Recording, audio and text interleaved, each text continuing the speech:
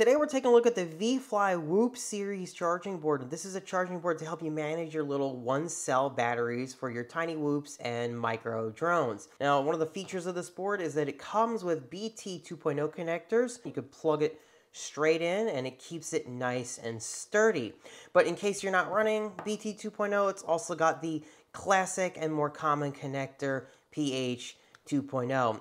I should note a word of caution, do not plug in a PH 2.0 battery and a BT 2.0 battery into the same port.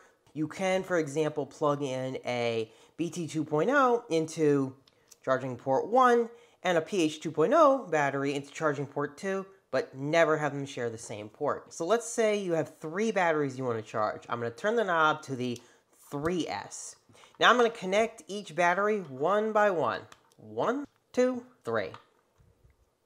All right, so now I've got my charger and I connect the XT60 first, then connect the balance cable.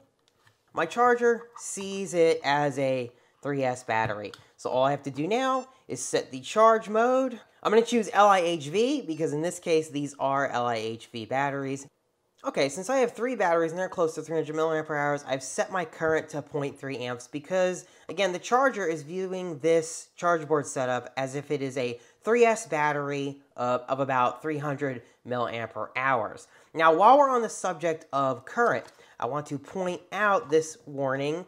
Do not charge over 1.5 amps. Okay, so we've got a fuse for safety, which is excellent. It's a 5 amp fuse. So you got plenty of headroom there. However, the knob is only rated for 1.5 amps. So don't charge over 1.5 amps. And really, you should not usually have a reason to charge over that amount. Because again, this is a series charging board, and most of your Whoop batteries are going to come in at well under a thousand milliampere hours. So and that's pretty much it. Really simple, really easy to use. The really cool thing that you could do with this board is not only charge, but also discharge and set to storage charge. Which your 1S batteries need to be taken care of just the same as your larger ones. And if you don't, then they will go bad. So it's really nice to be able to use this board to put them into storage. Now I will say that this is not the first time that we've seen a series charging board. The Fractal charging board has been around on the market for a lot longer. However, VIFLY has made some key quality of life improvements to this concept. There's this little jumper pin that comes with the board, and you use the jumper to indicate which, uh, you know, how many batteries you're charging. Whereas with the VIFLY, you just use the knob.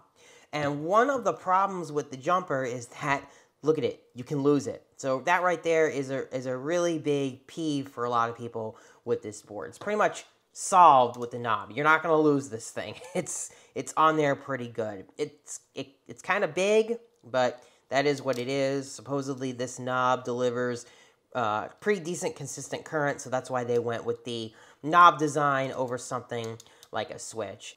The other nice thing is we talked about it, it's got a 5 amp fuse, whereas the fractal board doesn't have any fuse it all, and uh, you're already good to go with the BT 2.0 connectors on this, so that's really, really nice as well. And uh, so with that being said, I hope you guys enjoyed this little overview of the VIFLY Whoop series board. I want to thank VIFLY for sending this out to me to allow me to show here for you guys. And uh, let me know if you have any questions. And as always, have a great day. I got to do some Whoop battery charging now. So you guys take care.